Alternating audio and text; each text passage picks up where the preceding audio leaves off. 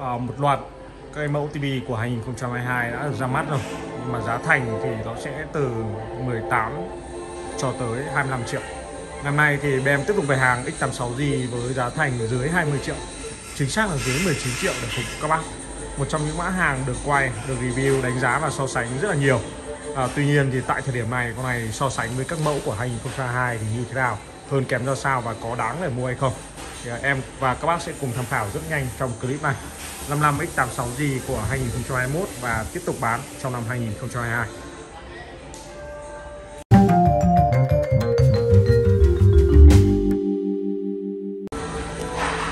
à, một sản phẩm TV được quay đánh giá review so sánh rất là nhiều trong năm 2021 à, thời điểm hiện tại là tháng 6 của 2022 thì cũng có rất là nhiều các mẫu TV mới của Sony ra mắt rồi.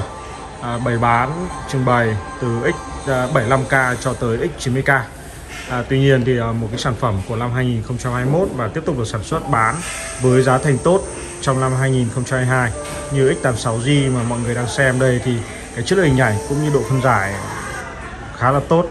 À, con này thì à, em đang không có chạy đoạn demo tích hợp trên TV mà em à, quay quay lại cái demo trên một chiếc TV khác với độ phân giải 4K rồi em up ngược lên YouTube và em đang cho phát trực tiếp cái nguồn tín hiệu đó bằng mạng wifi.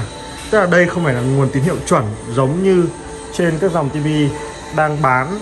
À, chẳng như các bác đã nhìn trong khung hình là một cái đoạn video demo có sẵn mà Sony tích hợp với độ phân giải độ tương phản. À, chất lượng hình ảnh vô cùng sắc nét đẹp và mượt mà. Nhưng đây là em quay lại sau đó thì em em bắt ngược lại để các bác xem cái chất lượng thực tế mà khi mọi người trải nghiệm bằng YouTube thì nó sẽ ra sao. À, một chiếc TV thì các cái tiêu chí đánh giá thì từ thiết kế bên ngoài này chip xử lý độ phân giải độ sắc nét độ tương phản à, cái thể hiện các cái gam màu cũng như là cái tần số quét thì nó sẽ góp phần tạo lên một cái tiêu chuẩn cho một chiếc TV. À, một số bác thì có bình luận là muốn tìm một chiếc TV để kết hợp làm màn hình chơi game à, cắm những cái bộ game như của Sony như PS4 hoặc PS5 để trải nghiệm những game hành động đỉnh cao ấy thì uh, cái điều quan trọng đó là chính là cái tần số quét. Nó hỗ trợ xử lý các cái hình ảnh những đoạn video có tốc độ chuyển động nhanh. Thì uh, cái việc uh, các bác trải nghiệm như vậy này cái mã này thì nó đang bị nhảy không quảng cáo. Này, em sẽ bật tiếp lại một đoạn video. À, cái màn hình uh, của con uh, X86G ngày hôm nay em quay thì có độ phân giải 4K và con trên con này thì nó ngoài con chip uh, xử lý hình ảnh X1 4K HDR ra thì nó còn có cả công nghệ Chilo Milus Pro nữa. Cái công nghệ Chilo Milus ờ, Pro này thì chính là công nghệ màn chấm lượng tử tương tự như cái màn hình QLED của Samsung hay là Lalocell của LG vậy. À, 2022 thì cái mã hàng thay thế cho thằng ờ, uh, X86G đó chính là cái con X85K thì X85K thì nó nhỉnh hơn con X86G ở cái gì? 2022 thì um, Ờ, từ X80 trở lên thì sẽ có thêm cái công nghệ tìm kiếm giọng nói rảnh tay không cần cầm điều khiển. Và về cơ bản thì con X86G này nó chỉ không có cái đó thôi. À, tuy nhiên thì các bạn cũng có thể sử dụng cái điều khiển thông minh của nó tìm kiếm các nội dung uh, trên YouTube bằng tiếng Việt hoặc là các bạn tương tác với cả TV qua câu lệnh OK Google bằng cách cầm điều khiển. Đấy, khác biệt lớn nhất của năm 2021 và 2022 giữa X86G và X85K chính là cái khả năng tìm kiếm đó à, về cơ bản ấy, thì cái độ phân giải cái khả năng quét hình cũng như hỗ trợ 4K 120Hz thì trên X86G của 2021 này nó đã tích hợp rồi.